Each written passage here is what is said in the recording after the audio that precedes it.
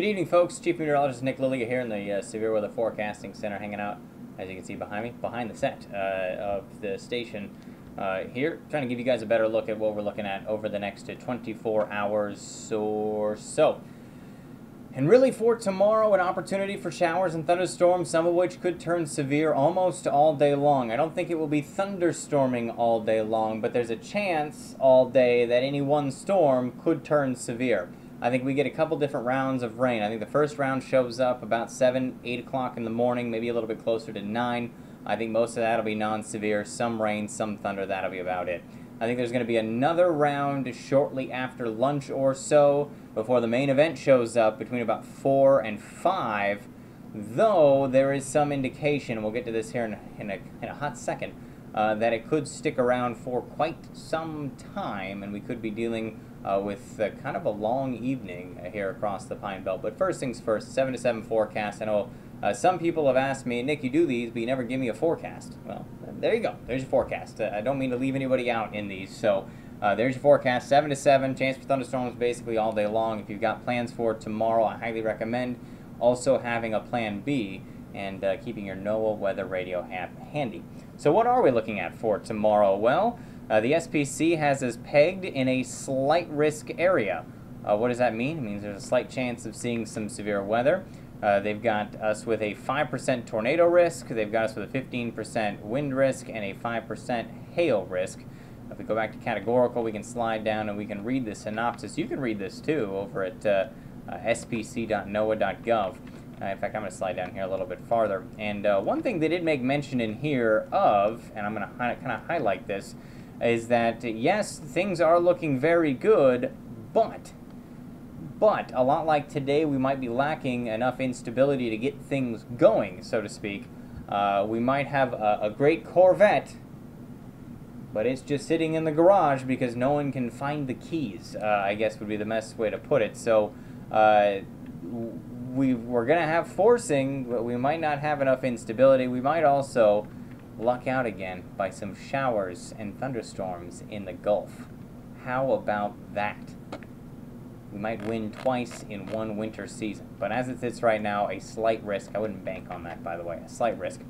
Uh, so let's get into the forecast. How about that? Okay, so winds right now coming off the Gulf out of the south and east. If you look at all of these uh, wonderful barbs, they're showing you a nice southeasterly kick. But you have to kind of look at the bigger picture. And when I first looked at this, I said, oh my goodness, here comes the southeasterly winds. We're going to have a lot of moisture in here tomorrow. But Take a look over here. We've got winds coming back out of the east and northeast that are continuing off to the east and then switching back around to the southeast. Same goes here. Now we do have a, a, a southerly wind out here, kind of turning southeasterly, but notice we've got some easterly winds in here, we've got calm winds there, a southeasterly wind here. So we are circling in some, not a lot, but some drier, cooler air, even though, yes, we are pumping in uh, some moisture off the Gulf as well. But that is uh, one thing to we will pay very close attention to uh, over the next about six to eight hours, and that will really dictate uh, what we see in the morning. We also have lots of full black circles in here. That is cloud cover. And boy, do we have some cloud cover and some fog out there as well. Clouds, clouds, clouds. No clouds here. No clouds here. No clouds here. No clouds here. Clouds. Cloud. I mean, I, I could keep doing this. I mean, look at all this. There's plenty of cloud cover out there. Some to the north, too. Okay, so what does that mean? Well, recall back today. Uh, we had the clouds in place. I made mention of this 5, 6, 6.30, and 10. We had clouds out there today, and they acted as kind of a blanket, only they did the opposite. They kept it cooler at the surface than it was aloft. That makes it a stable atmosphere and then you have no instability, which is what the SPC is concerned about too. You're not heating the ground so that air can rise up and we can really get things going. We got clouds tonight. The question becomes tomorrow can we break out of these clouds and into some sunshine to get some showers and thunderstorms going, to get that instability going, to get the showers and storms going? Okay. One thing also, uh, I get people that, uh, that have kind of a trouble. Uh, they ask me, okay, so this, this changing of wind direction with height. Uh, what does that mean? Okay, cool. So we're going to paint this out. We got winds out of the southeast to the surface. Now let's go up in the atmosphere. Notice how everything else seems to be moving kind of that direction. Uh, and in fact, as you kind of get up here, we kind of tilt things back off uh, almost a little bit farther off to the north and northeast. What you get uh, if you were to build a build a house, uh, we're going to go ahead and build a house right here. Here's our house, uh, nice little roof and everything. Uh, if you move up in the atmosphere, and you have winds, let's say our house is sitting on the beach, and you've got winds out of the southeast at the surface, but then aloft they're coming back out of the south and west. Uh, that air parcel, say on the ground, say it wants to be unstable, it wants to go up. Well, it's going to start to go that way. And then as it moves up in the atmosphere, it's going to want to kind of tilt back around that way. Uh, and you end up with these rotating updrafts. So here we are again. We got our little house, and it's it's smaller. Sorry, we had to downsize. Uh, you end up with these, uh, these rotating updrafts as they move up. Uh, and that really helps to uh, spin things up to get severe weather going. So that's what we talk about when we talk about uh, changing wind speeds, changing wind direction with height. And we're going to have that. Okay, speaking of the winds, uh, here we go 10 meter wind at 15Z tomorrow morning, still coming out. This is as of the 0Z NAM out of the south and east. Uh, what do we have aloft? Well, we've got winds out of the south and west up around 100 to 120 knots. I mean, we got a pretty slick jet ha happening tomorrow, uh, parked uh, just off to our north, but it is going to be right on top of us. Uh, 500 millibar. I'm going to point something out here real quick. Here's here's our here's our area of low pressure. Just remember that. It's right there. Uh, we're going to have uh, all of our energy right here, and then on the back side of this coming back around, but not necessarily anywhere close to us. That's okay. We're not worried about that right now. We're also looking at a little bit of vertical velocity, but not a whole heck of a lot. Oops, didn't mean to clear that out. I'm going to put my little low pressure right back there. I want you to watch that circle. Uh, back here at the or at 700 millibars, not much happening in terms of vertical velocity. And here at the surface, again, uh, that 850 millibar dew points, uh, we got winds out of the southwest, and we are going to be juiced uh, with dew points up in terms of uh, degrees Celsius, about uh, 10 to 15 degrees or so. But notice how that circle, uh, it moved. Here's that circle. 850 millibars, there's your, there's your area of low pressure. 700, it moves a little bit back to the uh, west, a little bit further back to the west, and a little bit further back to the west. That's normal. Uh, some people kind of they, they've asked me about it. They say, "Hey, I, I, see the area of low pressure on the one, but then it moves. Are you are you going ahead in time?" No, not at all. It just happens. Um, Okay, so now we're going to take it over uh, to our instability, and we're going to have some out there. Here's our, uh, our cape. We're uh, anywhere above 750 joules per kilogram as you head south of uh, that red line in the green here. We're back around 2,000 as you get back into parts of Louisiana. point something out here. that cape right there, does that line up uh, pretty close with that? I mean, the cape was, was about right there or so lines up pretty close. You, you need the instability, and that's what CAPE is. It's a measure of instability in the atmosphere, and this is the wild card for tomorrow. We've got the clouds in place. We're not going to have the instability that you see down here, unfortunately. It's going to be a little bit closer to maybe 1 to 300.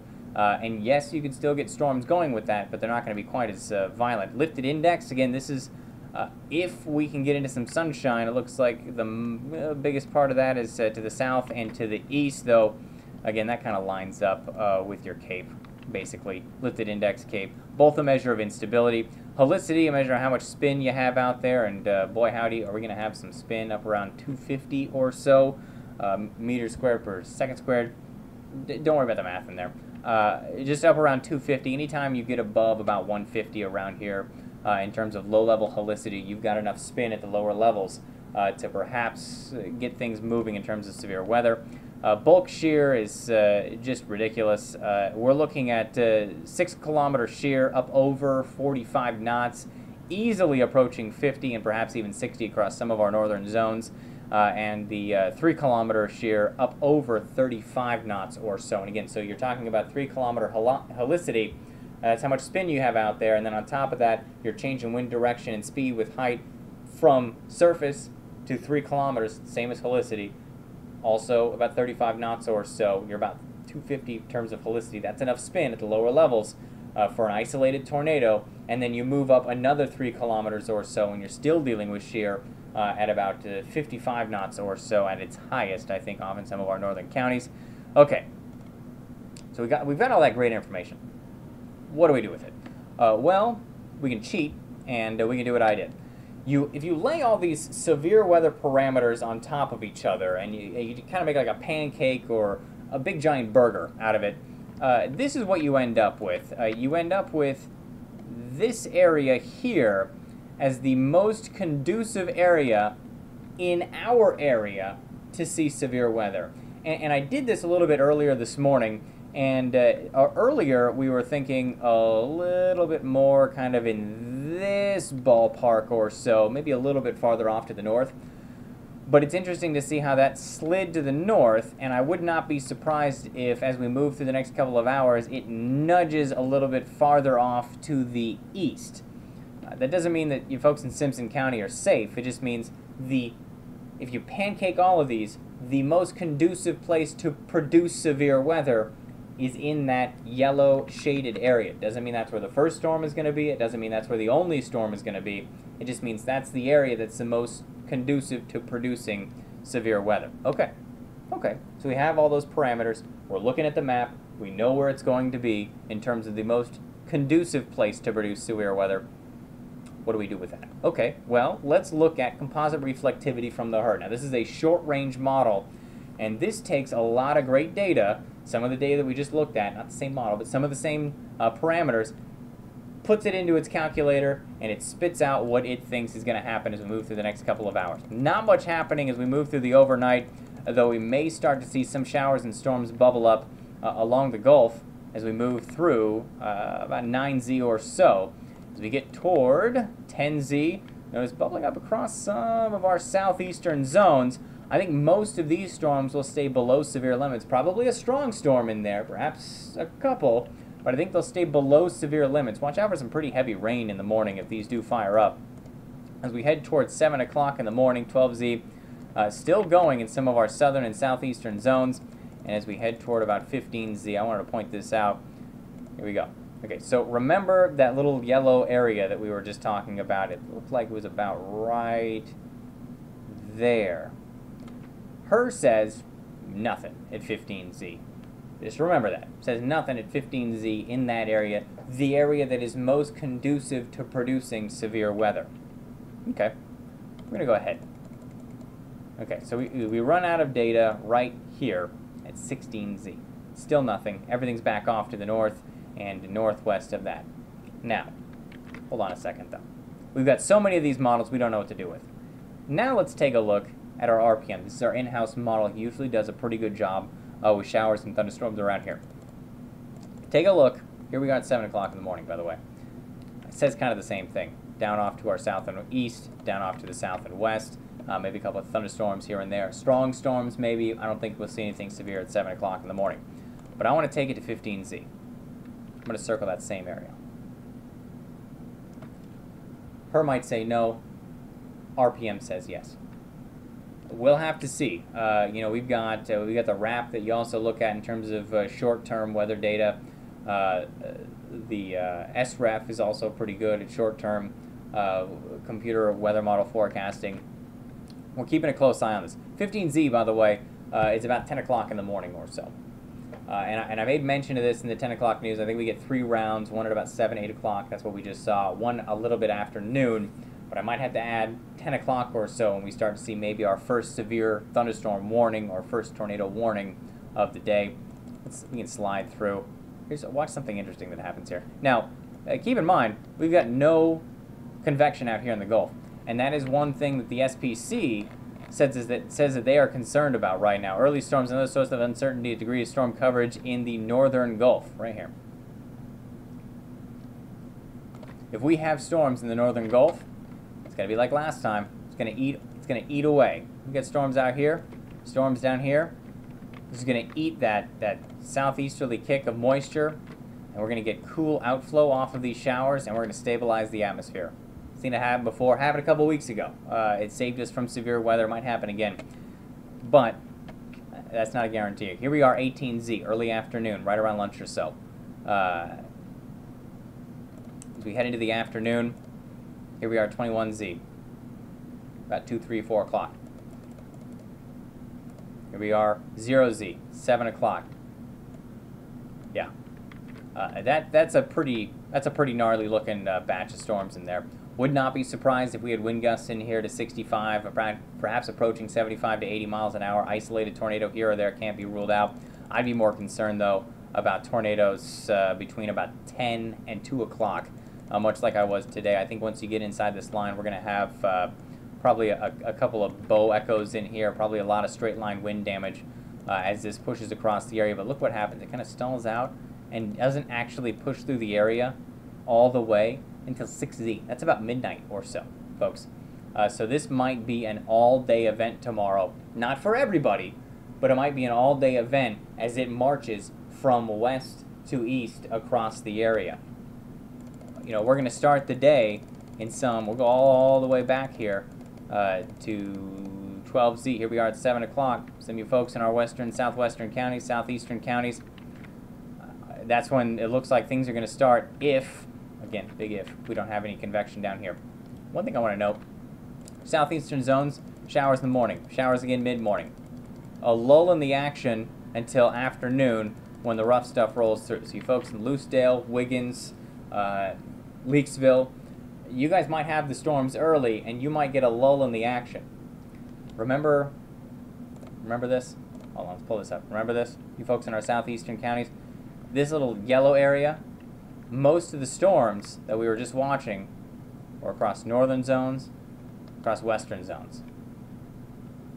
Okay, if we get some sun in here, if there's a lull in the action, most of the storms are up here, and you've got sun down here, you're going to destabilize the atmosphere down here, which means when these showers and thunderstorms roll through, they'll have a better chance of turning severe because you're going to have more instability out there. Okay, that all being said, I think I've taken way too much time. If you stayed with me through this entire video, uh, you get a super high five from me. For tomorrow, slight risk, according to the SPC, 5% uh, tornado risk, 15% wind, 5% hail. I don't think hail is going to be a big deal for tomorrow. Thunderstorms all day long. Thank you so much for watching this. I will, I will leave you guys with that tonight. Please have an NOAA Weather Radio handy for tomorrow. You can check in with us on Facebook at any time for now. It is now just past midnight. I'm going to go home, go to bed, get some sleep, about six hours or so. Uh, we'll be back in here uh, tomorrow about mid-morning, Rex and Megan will be with you all morning long. Please, please, please stay safe and ask any questions you need to uh, here on Facebook.